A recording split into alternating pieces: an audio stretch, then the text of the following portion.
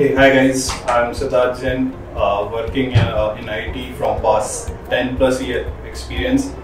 Uh, so basically, I'm working in iSeries, and uh, as you know, iSeries is now going to be the not that much uh, use in uh, IT. So I have decided to upgrade my skills.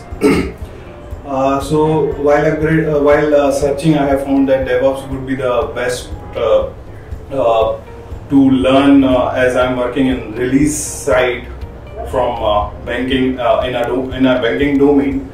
So while searching, I have found Ethan's Institute where we can upgrade ourselves with working as well. So I have joined uh, Ethan's uh, Institute uh, and decided to work decided to learn in DevOps.